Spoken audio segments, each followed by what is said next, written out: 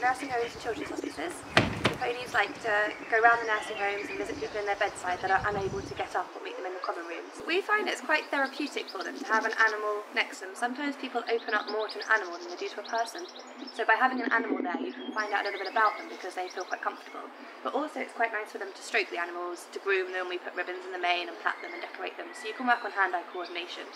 And you can also get them out of their wheelchairs to walk with them or walk beside the wheelchair. Lots of different things you can do. Care homes sometimes have a bit of a reputation as somewhere that you don't want to end up. It seems like with the animal therapy that these places are getting innovative. So I think it's really changed now and actually care homes are homes now, they're not an institute anymore. So how do the, the, the care homes, what do they think of it when you when you talk to the, the management there? We get a mixed a mixed response. Sometimes when I approach a nursing home, they're a little bit skeptical. They say you can't bring a horse inside.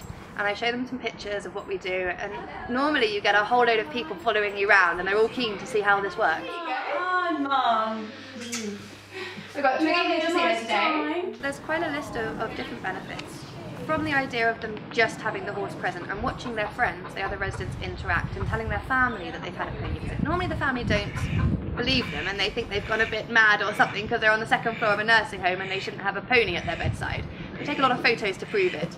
So Mr Kipling, your donkey, Yeah. what would, what would his typical working week involve? His typical working week would normally involve one party or one booking, one nursing home booking. So on the day of his booking or his party, he'd be out in the field with the other animals and come in and get ready, get cleaned off, go and spend a penny, and then on the van he'll go off for his visit.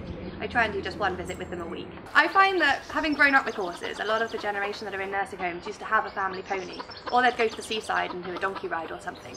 So I think that it's quite nice to bring back the memory, and even with dementia, they might not speak to us at the time, but later on they might realise a memory that might come out. I think that when you're born, you either you do or you don't like animals. And I've worked a lot with babies in nursery schools and through to dementia residents, and they still have that in them. It doesn't matter if you can't remember your name or anything.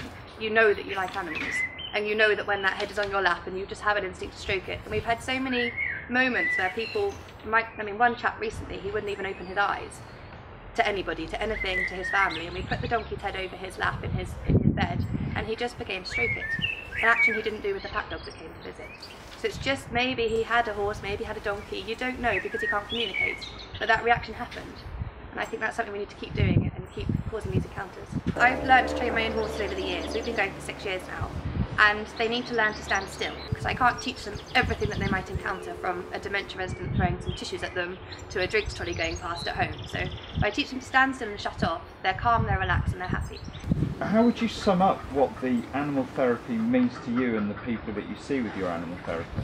I think that they get a great value from it. I think the people that we visit thoroughly enjoy it. They get a, an interaction a day that sometimes it can be a bit quiet in a nursing home, so to have a pony come and visit, that can be quite positive for them. I think it's also nice for the staff. It changes their day for them as well. Kisses now.